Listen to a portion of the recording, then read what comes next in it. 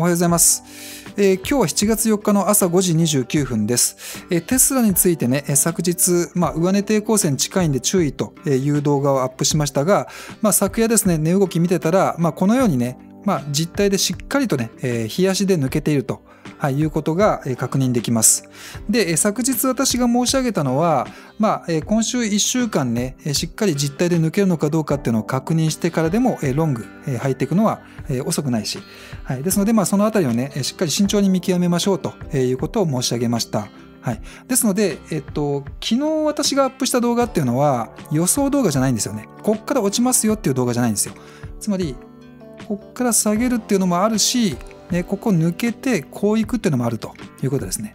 じゃあね、これ今、え冷やしレベルで、まあ結構派手に抜けちゃったじゃないですか。だったらね、こう抜けてから入るんじゃ遅いじゃんと。いう話になるんですけど大体ねあのこういう上値抵抗線って抜けた後にねこういうレジスタポ転換みたいな動きをするんですよ抜けっぱなしじゃなくてねつまり今日明日明後日。まあそれはどれぐらい上がるのか分かんないんだけどどっかでですねこうこんな感じでサポートを試すというのが大半なんですね、まあ、特にこういう長期のチャートの、えー、切り揃った下降トレンドライン抜けましたからの、まあ、こういう押しみたいなものはどこかでやってくるということですね。まあ、これがね、大半なんですね。はい。ですので、えー、昨昨日私が申し上げたのは、ここから落ちますよじゃなくて、ね、この後、しっかり上か下かっていうのを見極めて、週足レベルで見極めて、でその後の、ね、その後入っていくにしても、こういうレジサポ転換みたいな動き、押しがあるから、えそこで入りましょうみたいなね。まあそういう話なんですよね。例えば、ば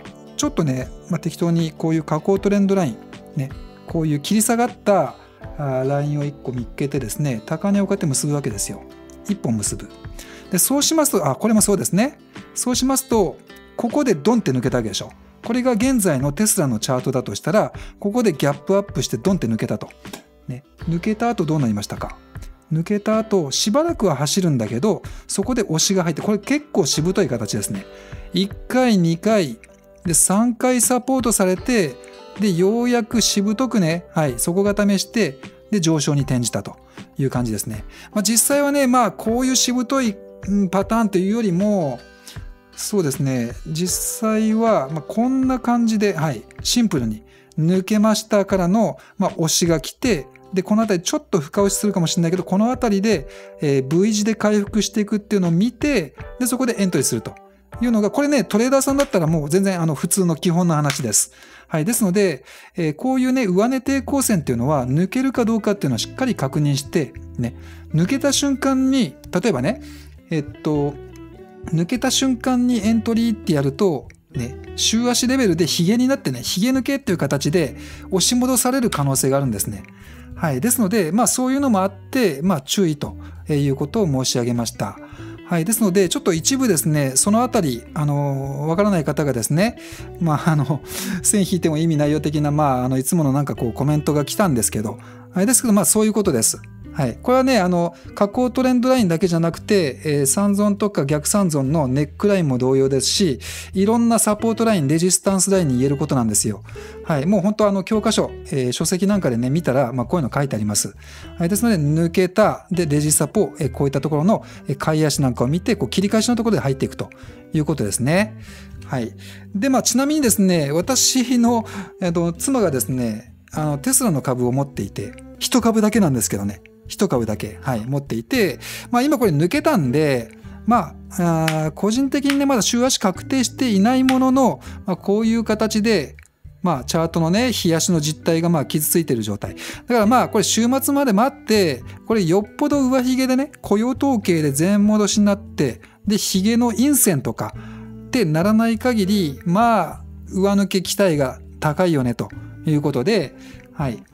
なので、まあ、えーまあ、うちの嫁が持ってるこのテスラの一株、はい、こんな感じで上げていく、はい、そういうイメージを持って来週はまあ見ていきたいと思います。はい。まあ、これがね、あの、加工トレンドラインの、あの、超基本的な話ですね。うちのチャンネル熱心にご覧いただいている方は、あの、当然ながら分かっている話なんですけど、だけどね、あの、分からない方がね、まあ、勘違いして、いや、ここからあなた落ちるって言ってるけど、みたいな感じで書かれるんですけど、あの、昨日は別にここから下落しますっていうふうに言ってないんで、ここはやっぱり、あの、分岐点となりやすいんで、瀬戸際ラインっていうのは、抜けたかどうか確認して、で、結構長期なんで、週足なんかで見るべきかなって思います。はい。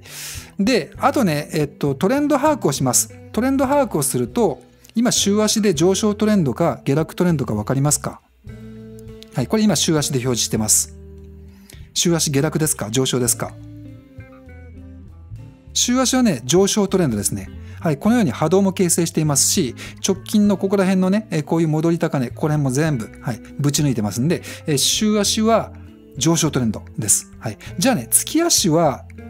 どうか分かりますか？月足もねジグザグとこんな感じで落ちてきてでここで這い上がってでまたジグザグと落ちてきてでまた這い上がってみたいな形。これね月足はね実はまだね下落トレンドなんですよね。はい。まあ、えー、ここがまあ史上最高値じゃないですか。これの1個前の安値がこの辺にあってでここを割ってるんですね。波動を何波も形成して割ってるんでこの段階で、えー、月足の下落トレンドです。で、そうなった段階で、このね、直近のボトムのこの価格ですね、101.81ドル、はい、101.81ドル。これが一番のまあ直近の月足の安値なんですけど。はい。で、えー、その後はどうなったかっていうと、まあ、波動は形成して上がっていくも、ね、1波、2波、3波って上がっていくも、月足のこのね、最安値更新前の1個前の安値がここにあるんですよ、300ドル。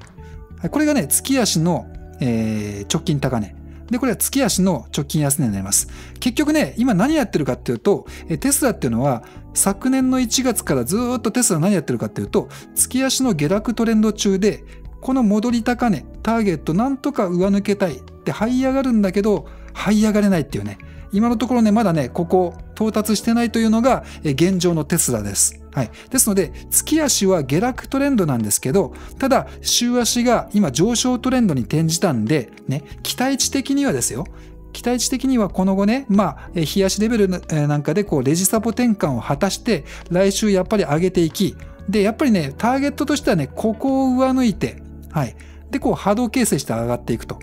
はい。これがね、月足の上昇トレンド。まあ、つまり、もう、えー、月足の下落トレンド終わって完全なる、えー、底打ちっていう形。底打ちっていうのは、もう、この史上最高値ね、はい、えー、到達して、えー、さらにね、もう一段、二段上を目指すというね、はい、こういうね、まあトレンド把握をするとですね、まだ現在、月足の下落トレンド中で、まあかなりそこから、ね、底打ちっぽく這い上がっていきそうな、ね、まあそういう期待が持てるよねっていう、はい。そういうポジティブな、まあ今状況なんじゃないかなっていうふうに思います。はい。ですので、まあ、まだですね、まあこの後、夏にかけて、秋にかけてね、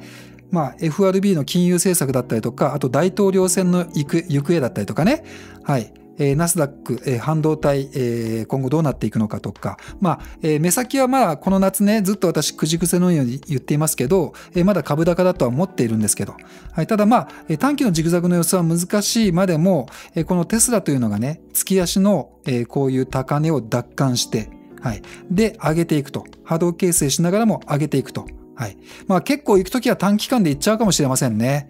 はい。まあ、それはちょっとわかりませんが、ずっと弱気だったテスラですが、まあ、この後ですね、まあ、この、えー、下降トレンドラインをしっかりね、えー、週足レベルでも、で、レジサポ転換して、で、例えばですよ、こういったところでレジサポ転換で、はい。ね、一旦今こう上抜けてるけど、またサポートって形になって、220とか227とか、そのあたりで購入することができれば、まあ、この後ね、まずは、えー、目先ね、この月足のターゲットの、えー、月足の、えー、直近高値ね、ここターゲットにして、で、どんどんね、そこからあ資金が2倍、3倍っていう形でね。まあ、これは、あのー、レバレッジのかかってない、はい、現物のテスラのチャートですけど、はい。他にもなんかいろいろレバーのかかった商品が、えー、ブル、ベアともに、えー、あると聞きましたけど、はい。まあ、あの、そういったものでですね、はい、えー、資金を増やしていくと。はい。まあ、そういうあのビジョンが描けるんじゃないかなっていうふうに思います。はい、えー、ですので、まあ、昨日はちょっと注意警戒だったんですが、冷やしなんかで見ると、まあ、抜けていると。はい、このね、えー、下降トレンドライン抜けましたからの、まあ、えー、目先、これがどこまで走るのかはともかく、まあ、どこかでね、まあ、犯人が犯行現場に戻ってくるかのごとく、このレジサボ転換みたいな動きが、まあ、これ本当ね、教科書的な定石なんで、はい。なので、まあ、こういったところで、ここのね、まあ、厳密に言うと、レジサポもね、まあ、ここ結局ヒゲになってそのまま落ちていくっていうパターンもありますんで、